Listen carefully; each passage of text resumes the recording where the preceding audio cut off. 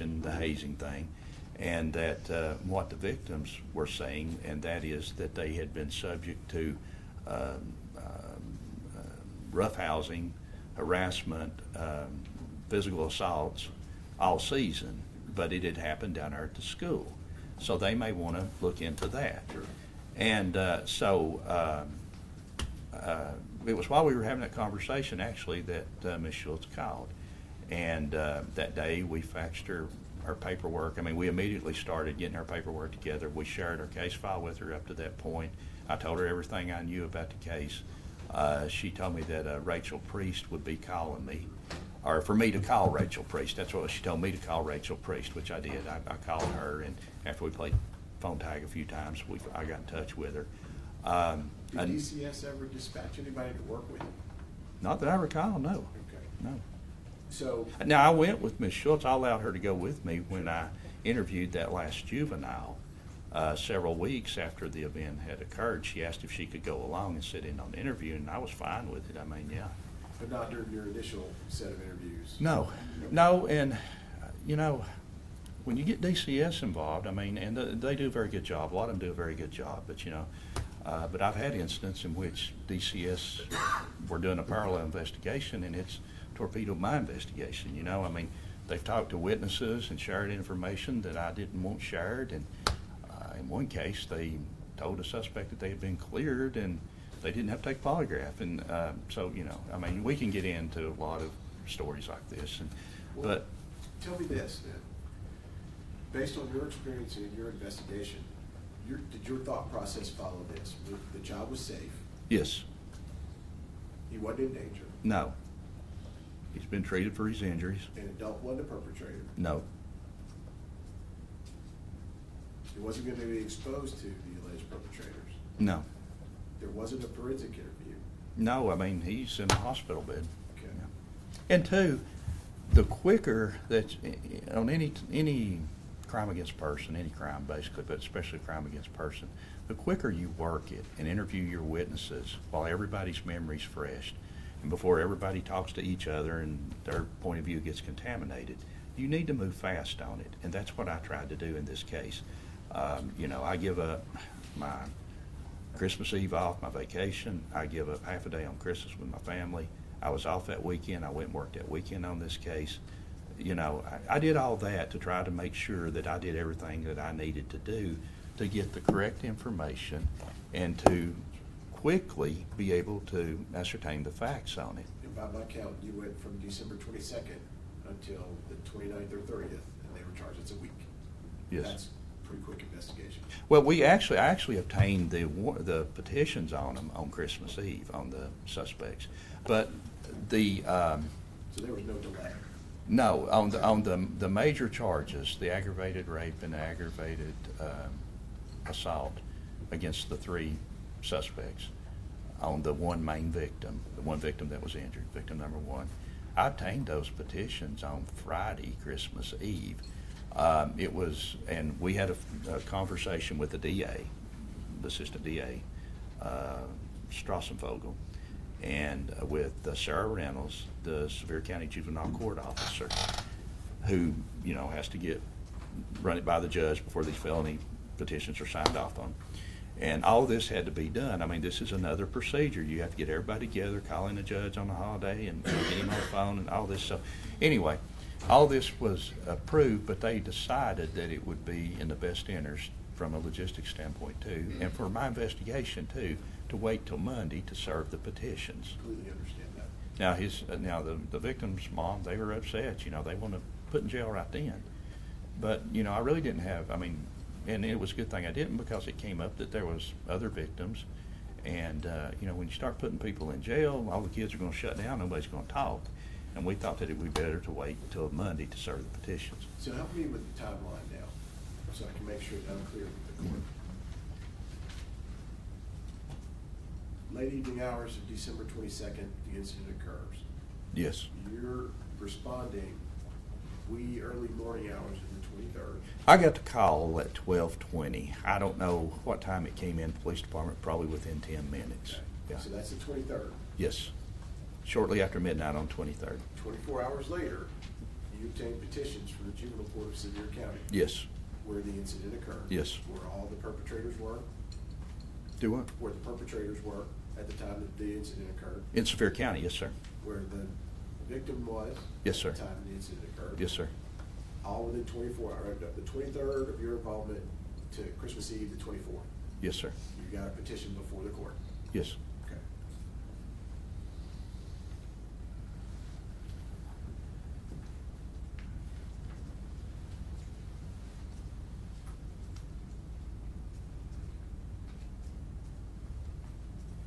Was any of this at, at the player's home? Did this occur in the player's home? No.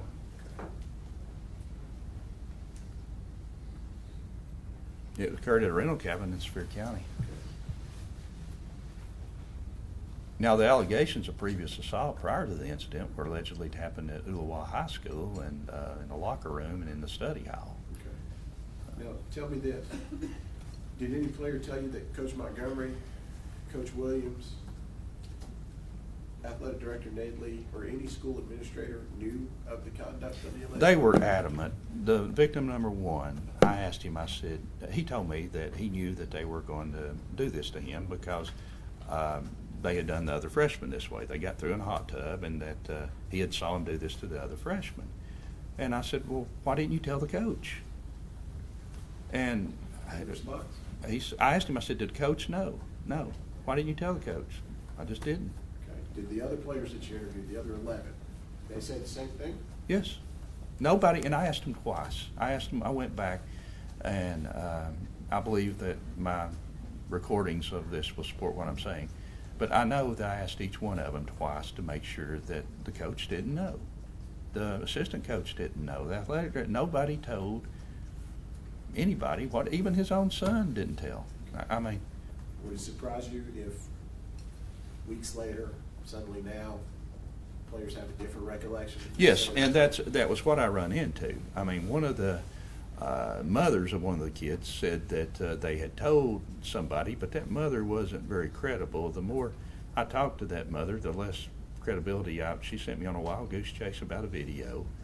Uh, she spoke for to the media, saying that she was speaking for the mother of the main victim. And that lady, the, the mother of the main victim got very angry with me, you know, with all the media coverage. She said, we didn't want this. We don't want this. I mean, you're victimizing him all over again. Um, and I can say, and she said, that woman does not speak for me. Can you tell me why you didn't charge Coach Montgomery? Coach With what? What should I charge him with? I mean, he did nothing wrong. In my opinion, he did nothing wrong.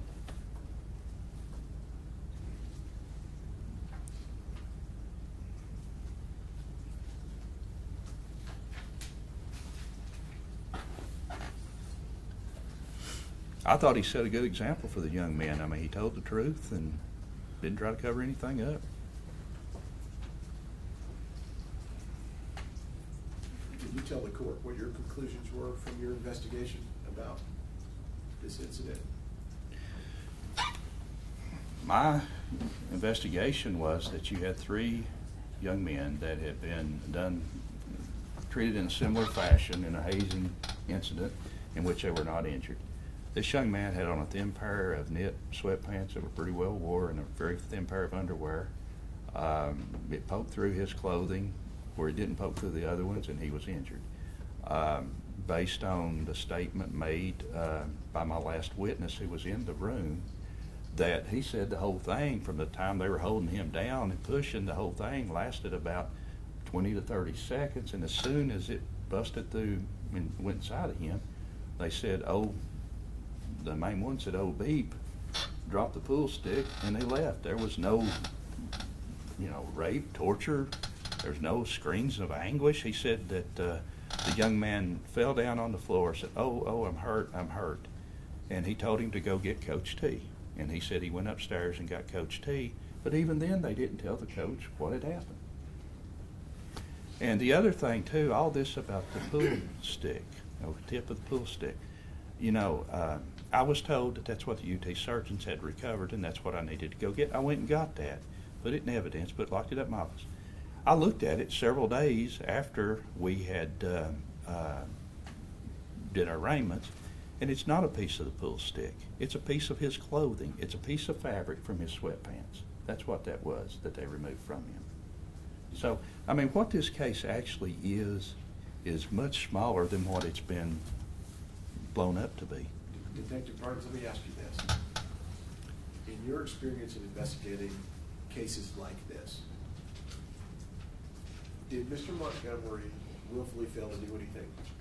Not to my knowledge, no.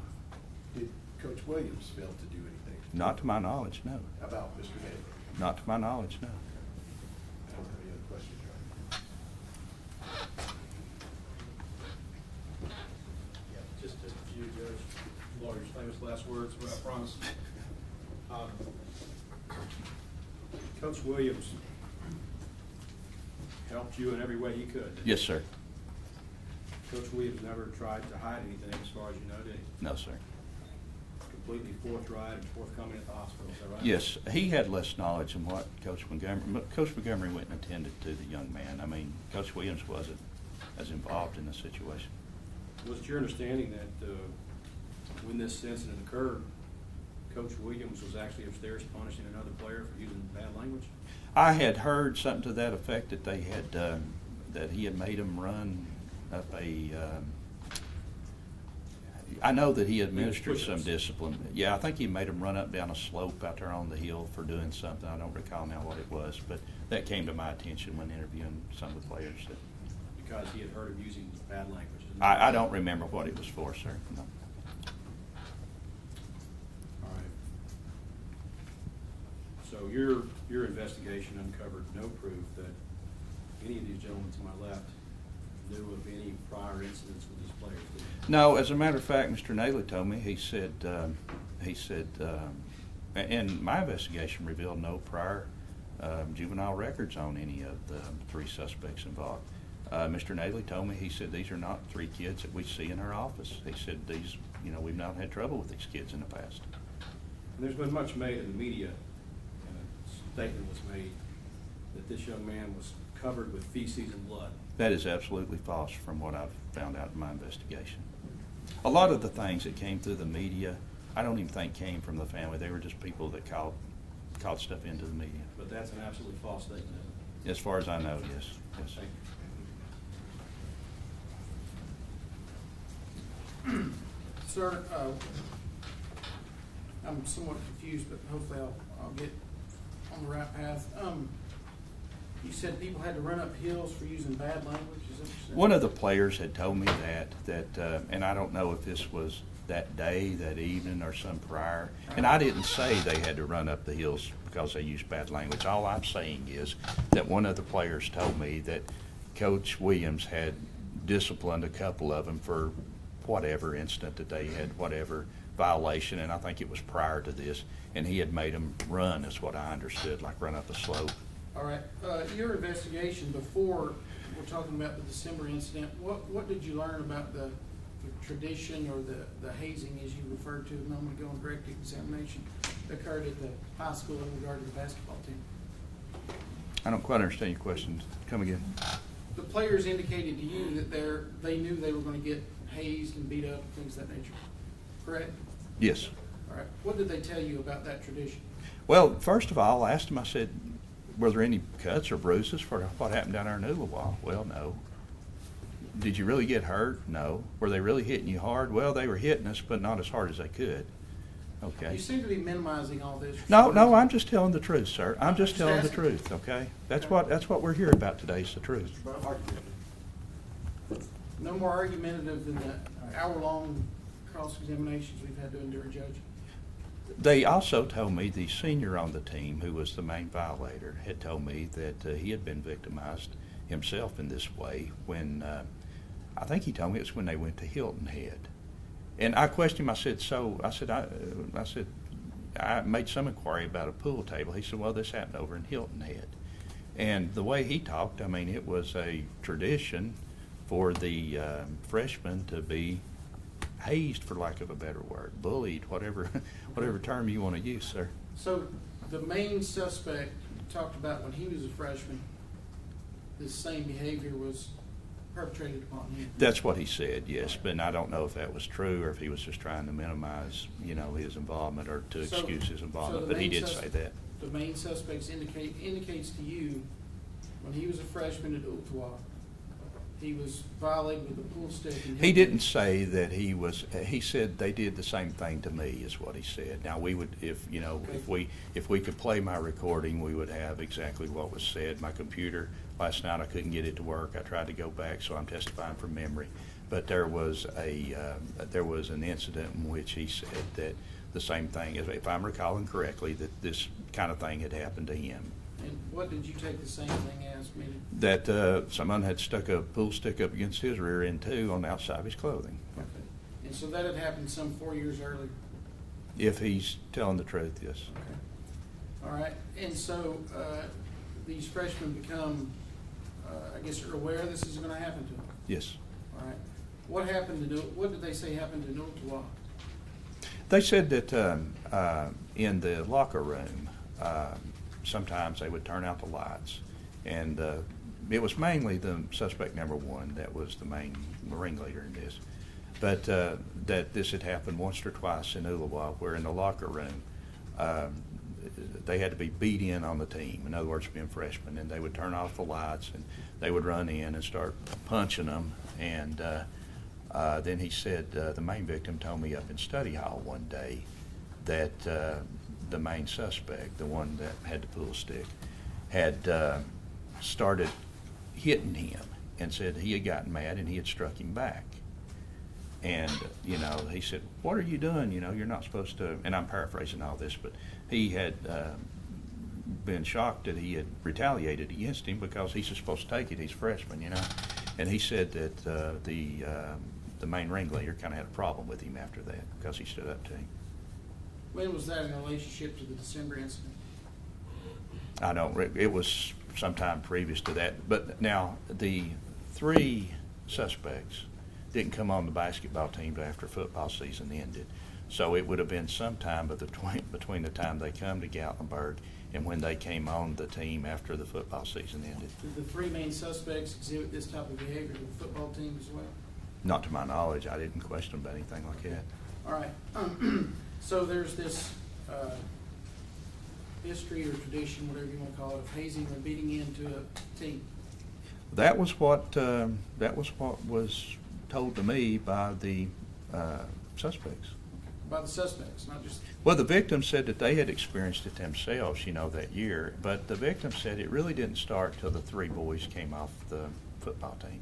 but nonetheless, the suspects and the victims all talked to you about this hazing or beating in or whatever, whatever, however we wanna characterize that. Yes, sir, they did, yes.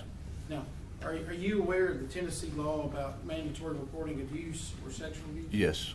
All right. Uh, you didn't report this, did you? It didn't fall within the parameters of what we report. I mean, this was um, a kid-on-kid assault. I mean, it wasn't really sexual in nature. I did try to see. It wasn't sexual in nature? No. All right, how do, how do you come to that conclusion? Well, there was no sexual gratification. They didn't pull his pants down. The other three victims, they weren't penetrated, and it was the same same ritual. Do you know what, uh, state law, how it defines sexual Yes, I do. Yes. And- And what is that definition? Well, the definition is uh, penetration of the orifices of the body by penis or, or an animated object, yeah. I mean, I can't quote it, which I'm sure However you can. slight, you recall that Yes, in there? however And slight. that nowhere in that definition is sexual gratification mentioned.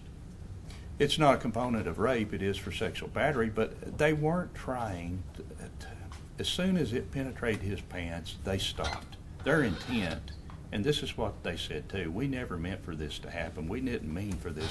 And I think they were being truthful when they said that. This just shouldn't happen on one night though, right? The other three players were on previous nights. Uh, one of them was like a couple days before. Um, I'd have to go back and look at my notes, but yes, I mean, to answer, the short answer is yes. One of them had been um, hazed Short like answer this. is yes. One of them had been hazed like this a couple, three days prior, and the other two had, um, I got conflicting stories, but the other two uh, finally settled that it was the day before Mon was hurt. So, and you've charged one count of aggravated rape? I've counted, I've, um, well, they said that it didn't go up inside of him, if that's what you're, where you're going with this. I didn't, I didn't decide where I'm going with this yet. That's my question to you. Yes, yes, I've counted, each of the three suspects were charged with one count each of aggravated rape and aggravated assault, yes, sir. But the other three all talked about the pool cue in the same manner, except they weren't hurt. Well, they said it didn't go up inside of them. It didn't penetrate their clothing and go up inside of them. I mean, i- initially, only one of the other two wanted to press charges. Okay. But that doesn't mean, what, what does that matter? You gotta have a, a victim if you go to court. Okay, but you've never been If, involved. if they're not, if they're not a compliant victim, how are you gonna charge and go to court if you don't have a victim there? Have you ever charged somebody with a crime and not necessarily had a victim speaking up loudly about wanting to prosecute? You gotta have a victim. So, uh, what's, yes or no to that question? No, I mean, no. So, i- if the one that injured the child is a rape, why is it not a rape in the other three instances?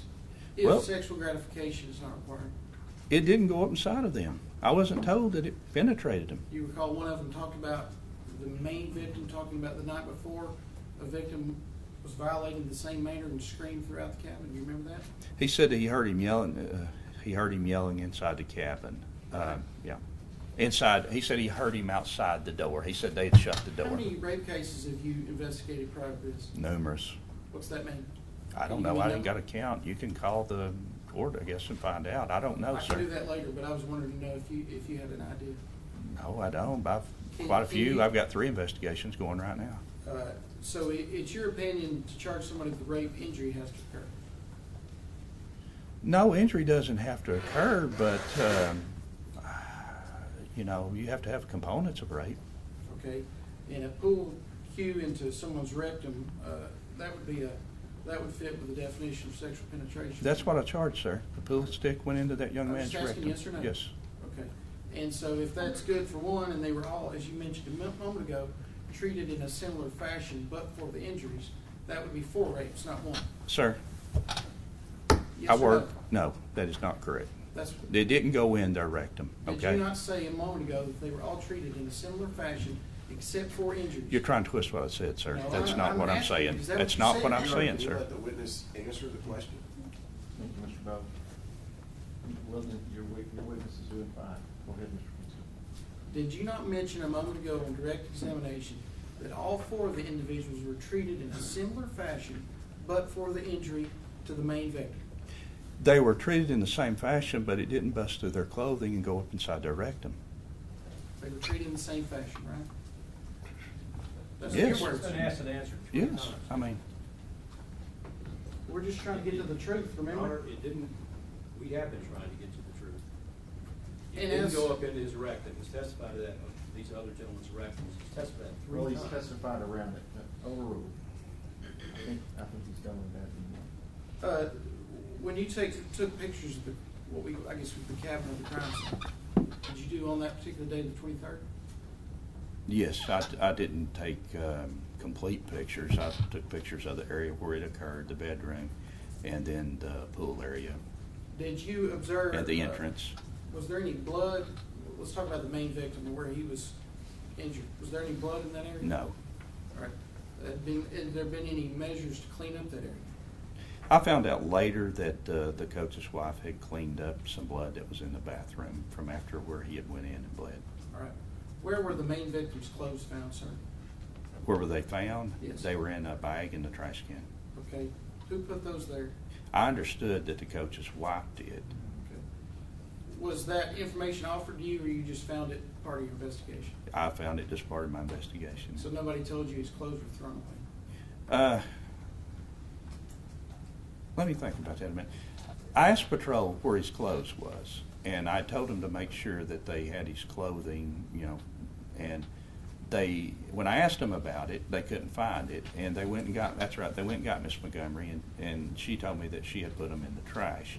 Now, I initially thought she had bagged them up and put them in the trash, but later on, I found out that the victim himself had bagged up his clothing. It was wet, and it had a little bit of fecal matter on the underwear, and it was wet and smelly, so I think he was embarrassed and he bagged it up. I didn't see no blood, sir, no.